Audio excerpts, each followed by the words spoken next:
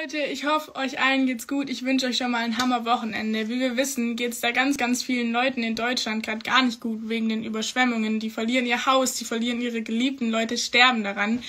Und ich hoffe wirklich, dass ich mich nicht falsch ausdrücke.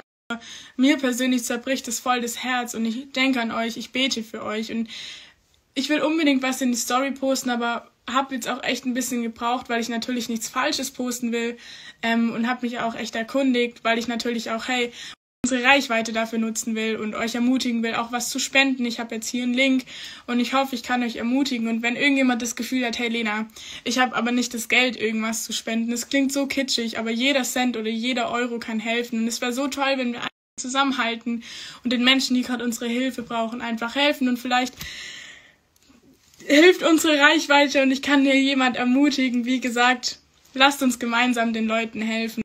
Gerade wenn du vielleicht dein Haus verloren hast oder auch schon jemanden anderen verloren hast, dann auf jeden Fall mein Beileid. Und falls wir noch irgendwie helfen können, schreibt uns total gerne eine Mail oder über Instagram Direct Message. Ich versuche das auf jeden Fall zu lesen und Lisa und ich sind total offen und wollen äh, alles dafür tun, um irgendwie helfen zu können. Genau, ganz, ganz liebe Grüße aus, aus dem Schwarmländle.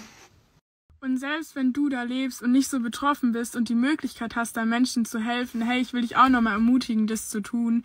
Ähm, ich sehe so viele TikToks und so viele Videos auf Instagram. Natürlich ist es gut für uns zu sehen, was da so passiert. Aber ich denke, das wäre so viel krasser und die Leute würden es viel mehr schätzen, anstatt es zu filmen, dass man da mithilft. Natürlich weiß ich die Situation nicht und ich weiß natürlich, dass es total schwierig ist, aber ich dachte, ich spreche das auch nochmal an und ermutige Leute, anstatt vielleicht das Handy zu packen, da anders anzupacken und Leuten da aus der Patsche zu helfen. Aber wie gesagt, das bin auch nur ich, wo das sagt. Ich dachte, ich spreche das mal an, aber nicht falsch verstehen. Es ist weder ein Angriff noch ein Vorwurf. Ähm, es ist nur eine Meinung von mir. Genau.